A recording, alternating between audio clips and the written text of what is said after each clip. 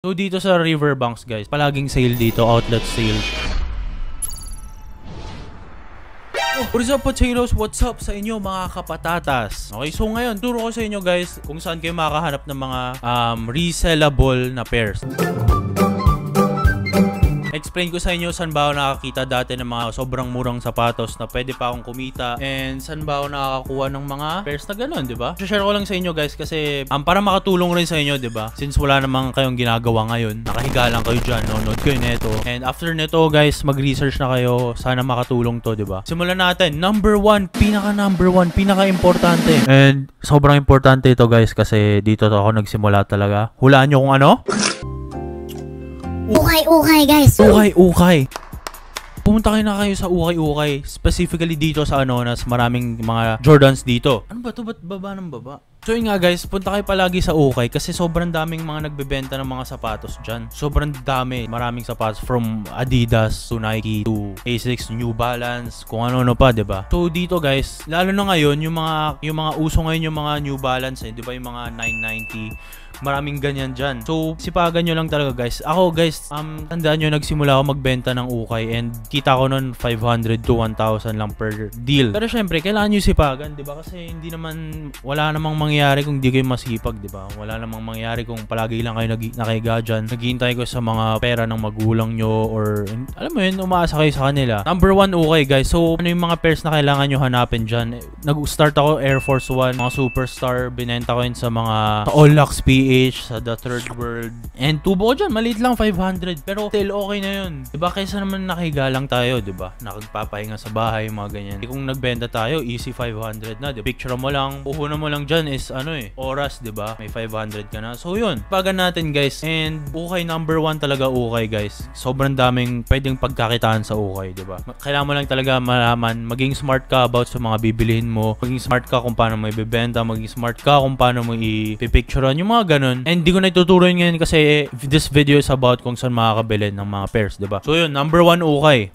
Number 2 naman guys is sa Riverbanks. Riverbanks Marikina, punta kayo dyan, i-waze nyo, google nyo. So dito sa Riverbanks guys, sobrang ano, kasi palaging sale dito, outlet sale to palagi. So usually 70% off, 40% off, mga ganyan. And sobrang daming pairs dyan, mga Ultra Boost, mga, minsan mga 6.5 na lang yan, mga ganun, mga Nike. And same pa rin, mahina pa rin yung tubo mo, pero still, di ba, kumikita pa rin tayo kaysa naman, yun nga, nakiga pa rin tayo sa bahay, di ba? So yun, check out nyo guys yung Riverbanks, uh, River Fairbanks, Marikina, sobrang outlet store yan. Minsan nagsisale sila dyan. And usually guys, resell na rin ako dito. Usually mga ni-resell ko mga shorts, uh, mga mga damit, mga pants. Actually kahit ano lang guys, basta yun pa rin, maging smart pa rin kayo about sa i-resell nyo. Magbabad kayo sa Facebook kung ano yung mga, tignan nyo doon kung ano yung mga hinahanap ng mga tao, kung ano yung in demand ngayon, ba diba? So yun, number 2 Riverbanks.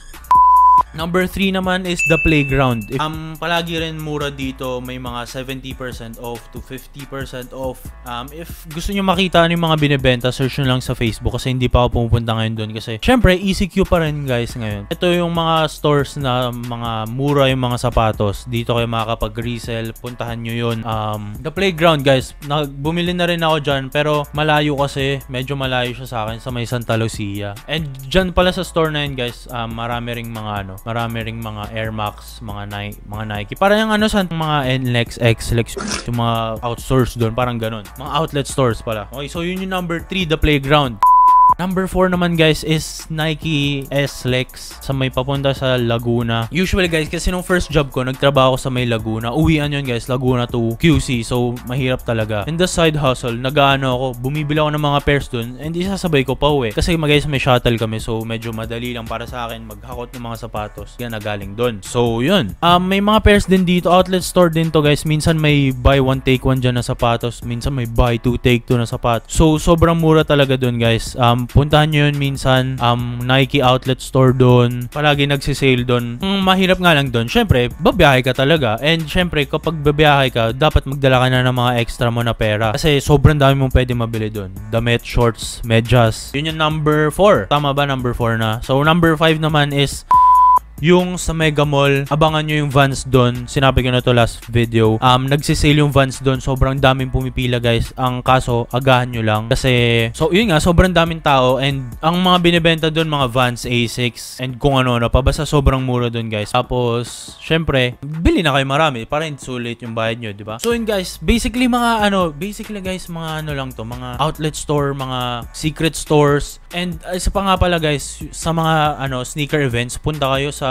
ano, Sneaker Con, Manila Sneaker Con. Kasi, pero ang trick dito guys, bumili kayo kapag late na, mga pagpasara na sila, mga 10, mga 9 o'clock, 8.30, ganyan. Mag-start kayo bumili ng mga sapatos dyan. And mga damit, and kung ano-ano pa, mga bags, ganyan. Kasi kapag, minsan kapag late na, nag-sale na sila lahat, di ba? So basically guys, yun lang naman. Um, kailangan nyo lang maging, uh, maging, ano, aware sa mga saan yung mga sneaker stores, and saan yung mga, mga mumurahing mga damit, mga, mga outlet stores, saan yung mga yan. Um, tandaan nyo palagi na kapag nag-resell kayo guys, habang startup reseller pa lang kayo, maging masipag kayo, maging, alam mo yung maging focus talaga kayo sa sapato, sa, sa sneaker game. Kapag natalo kayo or naunahan kayo sa isang benta, wag na kayo ma-frustrate. Move on na, di ba? Wag na kayo makipag-away. Kasi wala namang, wala namang kikitain kapag nakipag-away kayo, di ba? So yun. And sana na maging, ano, active tayo sa sneaker game, sa mga Facebook post. Wala, kung since wala namang ginagawa ngayon, babad kayo sa Facebook, di ba? And kung gusto nyo maging reseller, magbabad kayo sa mga sneaker groups, scroll kayo ng scroll. Sobrang dami nyo makikita guys. Talaga, promise. Hindi, hindi ko ma-explain kung paano marami. Basta sobrang dami guys. Sana nakatulong tong video and sana may natutunan kayo mga bago. And visit nyo yung mga places na sinabi ko. Sobrang daming pwedeng kitaing pera dyan guys. di ba? Okay, yun.